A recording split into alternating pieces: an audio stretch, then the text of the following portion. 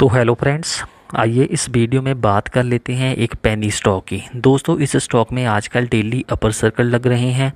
आज भी इस स्टॉक में अपर सर्कल लग चुका है। ये स्टॉक पाँच परसेंट की रैली के साथ 11.55 की प्राइस पे ट्रेड कर रहा है एट 11:45 एएम तो दोस्तों, कौन सा है वो स्टॉक उसका हम नाम भी जानेंगे। देखेंगे कि इतने बढ़िया मोमेंटम क्यों चल रहा है, क्यों इस स्टॉक में अपर सर्कल लग रहे हैं, इसकी लेटेस्ट न्यूज़ चेक करेंगे।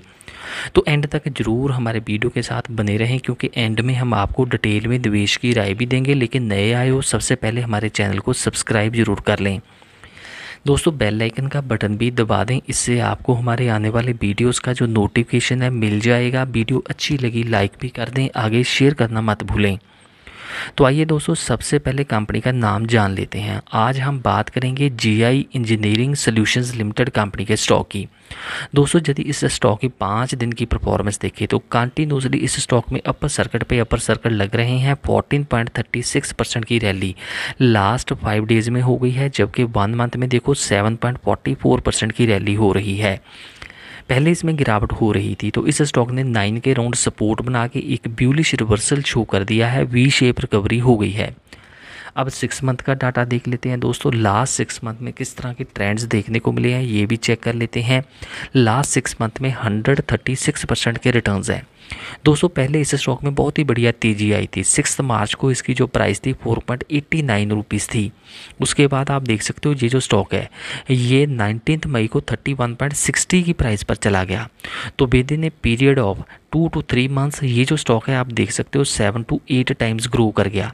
लेकिन उसके बाद बहुत ही बड़ी वॉलेटिलिटी इस स्टॉक में आ गई, बहुत ही बड़ी गिरावट आ गई। अब ये जो स्टॉक है, बॉटम फॉर्मेशन के बाद एक फिर रिवर्सल शो करता आपको दिखाई दे रहा है। तो आइए इसके लेटेस्ट रिजल्ट्स भी डिस्कस कर लेते हैं। देख लेते हैं कि इसके लेटेस्ट क्वार्टरली नंबर्स क्या हैं और इसके पीई मल्टीपल्स e क्या चल रहे हैं। क्योंकि दोस्तों पैनी स्टॉक्स में बहुत ही बड़ा रिस्क होता है। जैसे यहाँ पे भी आप देख सकते हो, इसके चार्ट में भी पहले बहुत ही बढ़िया तेज़ी आई थी, फिर बहुत ही बड़ी गिरावट भी इसके चार्ट में दिखी थी। तो इसलिए दोस्तों, आपको बहुत ही अलर्ट रहने की ज़रूरत है। सबसे पहले दोस्तों इसके जो है नंबर्स देख लो। जून 23 में इस कंपनी का रेवन्यू भी बढ़ गया है, जबकि बॉटम लाइन में भी बहुत ही अच्छी रैली जो है वो देखने को मिल रही है। तो यहाँ पे हम आपको फिर इसका डाटा शेयर कर देते हैं। देखो दोस्तों, यहाँ पे रेवन्यू देखो इसका जो है वो कितना शानदार मोमेंटम शो करता दिखाई दे रहा है। कंपनी का जो रेवन्यू है जून 23 में बहुत ही बड़ी चेंज शो कर रहा है, बहुत ही बड़ी रैली शो कर रहा है, जबकि बॉटम लाइन में भी 95 100 परसेंट से ज़्यादा ग्रोथ देखने को मिल गई है और मार्जिन भी हंड्रेड परसेंट से ज़्यादा ग्रो हो गए हैं। मतलब जून ट्वेंटी में कंपनी ने धमाका कर दिया है कंपनी के नंबर्स बहुत ही शानदार रहे हैं। तो ये भी एक कारण है दोस्तों इस स्टॉक में रैली हो रही है, इस स्टॉक में ग्रोथ देखने को मिल रही है। और आगे हम इस कंपनी के जो कैश की पोजीशन देखें तो जून 23 में कंपनी के कैश में भी बहुत ही बड़ा जंप आया है 2400 परसेंट से ज़्यादा जंप इसकी जो आप कह सकते हो कि बैलेंस शीट में देखने को मिला है कैश में बहुत ही बड़ा जंप देखने को मिल गया है।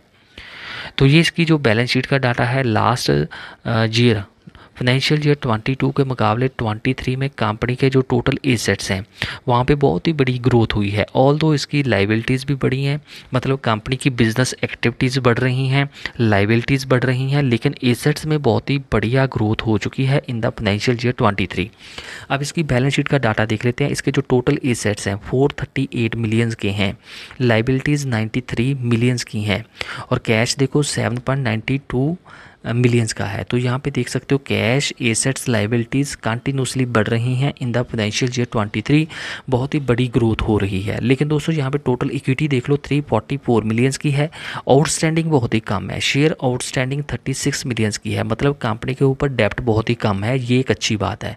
मतलब कंपनी एक लो डेप्ट कंपनी है और लाइबिलिटीज़ भी वेल कवर्ड है क्योंकि लाइबिलिटीज़ के मुकाबले एसेट्स की वैल्यू कैश की वैल्यू बहुत ही स्ट्रॉन्ग है। तो इसलिए बैलेंस शीट बहुत ही निकल कर आ रही है। कंपनी की बैलेंस शीट बहुत ही बढ़िया है। इसलिए डर वाली या फियर वाली कोई भी बात यहाँ पे दिख नहीं रही है। तो ये जो कंपनी एक इंजीनियरिंग सोल्यूशन कंपनी है, आगे हम इसका बिज़नेस भी स्टडी करेंगे। एनुअल लेवल पे भी देख सकते हो। फाइनेंशियल ईयर 22 के मुकाबले 23 में कंपनी की बॉटम लाइन और टॉप लाइन में बहुत ही शानदार ग्रोथ हो गई है। तो दोस्तों, इस स्टॉक में एक ब्रेकिंग न्यूज़ आ रही है। वो भी हम डिस्कस कर लेते हैं। कंपनी एक बहुत ही बड़ा फंड रेज करने जा रही है, जिसके कारण इस स्टॉक में अपर सर्किट लग रही हैं। क्योंकि दोस्तों, जब कोई कंपनी अपने बिज़नेस को एक्सपेंड करती है तो उसको कुछ फंड्स की ज़रूरत पड़ती है। तो ये कंपनी इस डायरेक्शन में काम करती दिखाई दे रही है फंड रेजिंग पे काम कर रही है, जिसके कारण इस स्टॉक में अपर सर्किट लगने शुरू हो गए हैं। तो इस न्यूज़ को हम डिटेल में स्टडी करेंगे। The GI Engineering shares hit upper circuit amid fundraising plans.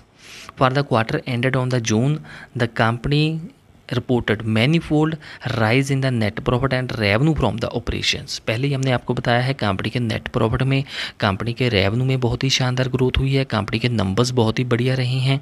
अब जो कंपनी है वो आ, जो है वो फंड रेज करेगी। यहाँ पे देख सकते हो the company has will raise 74 crore rupees via issue of the brands तो 75 करोड़ रुपीज़ ये जो कंपनी है, वो रेज करेगी।